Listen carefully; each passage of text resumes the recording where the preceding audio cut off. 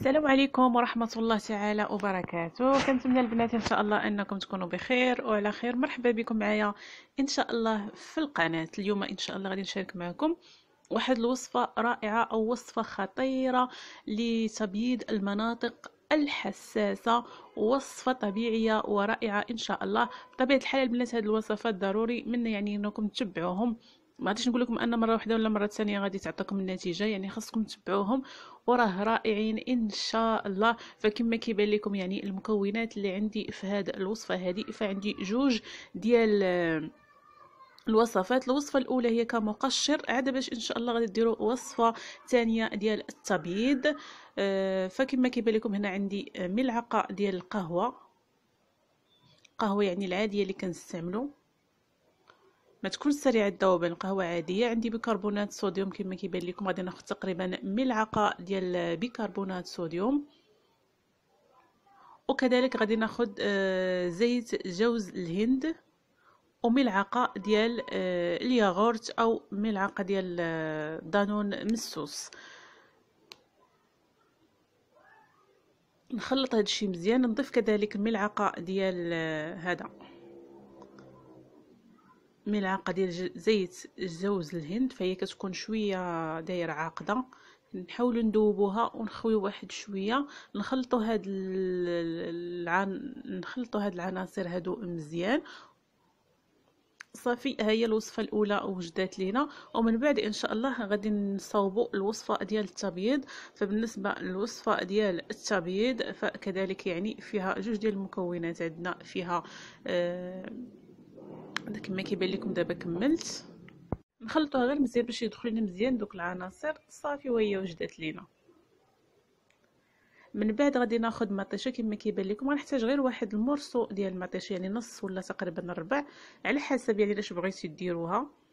فهاد الوصفة راه رائعة البنات يعني تستعملوها كما قلت لكم يعني المناطق الحساسة يعني ما بين الفخذين تحت الإبط العنق. راه رائعه رائعه البنات. غادي ناخذ هاد المطيشة غادي نطحنها وناخذ فقط الماء. نطحنها كلها بالقشور ديالها. كما كيبان لكم ها هي يعني هادشي علاش حصلت فداك النصف ديال المطيشة.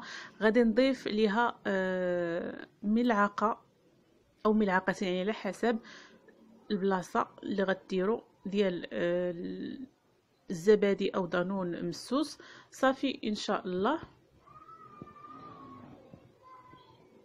ونخلطها كذلك حتى هي مزيان فهاد الوصفة البنات راه رائعة خصوصا هاد الوصفة ديال المطيشة وديال الياغورت رائعة يعني الحروق ديال الشمس إلا خرجتي ولا شي حاجة يعني وجيتي للدار فمن الاحسن أنك ديريها راه رائعة ما فيها حتى شي يعني يعني ما فيها حتى شي أضرار للبشرة رائعة كتحيد لنا يعني كتبرد لنا البشرة وكتحيد لنا ديك الحروق اللي كتكون وكترد لنا بطبيعة الحال البشرة اللون ديالها الطبيعي دابا من بعد ما كملت غادي نحاول أنني يعني كيفية ديال الاستعمال.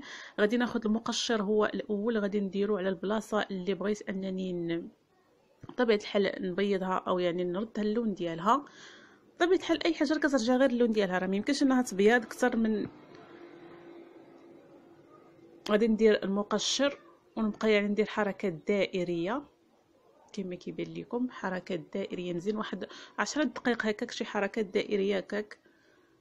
عاد باش إن شاء الله غادي ندير آه وصفة ديال التبييض. فراه رائعه البنات خصوصا معروف على القهوة أنها يعني مقشر رائع خصوصا إلا خلطناها مع زيت جوز الهند فكتجي رائعة رائعة البنات فمن بعد ما درت يعني المقشر فكتبان البشرة أنها شوية كتح... يعني كتحيد منها كاع دوك الخلايا الميتة وكاع داكشي اللي فيها. دابا غادي ندير إن شاء الله الوصفة ديال التبييض. الوصفة ديال التبييض كذلك يعني نخليها واحد عشرة ديال الدقائق ومن بعد إن شاء الله كنغسلها يعني بالماء عادي وكما قلت لكم يعني نبقى نستعمل هذه الوصفة. إلا قدرتوا تستعملوها ثلاث مرات في الأسبوع فراه رائعة. ما يعني ما كانتش يعني ما ما قدرتوش فاستعملوها على الأقل غير مرتين أو مرة واحدة. فراه رائعة رائعة البنات وصراحة راه غزالة غير جربوها. وهذا هو فيديو اليوم إن شاء الله اللي حبيت أنني نشاركه معكم وصفة إن شاء الله لتبييض المناطق الحساسة. فراه رائعة. فإلا عجبكم الفيديو ما تنسونيش بلايك.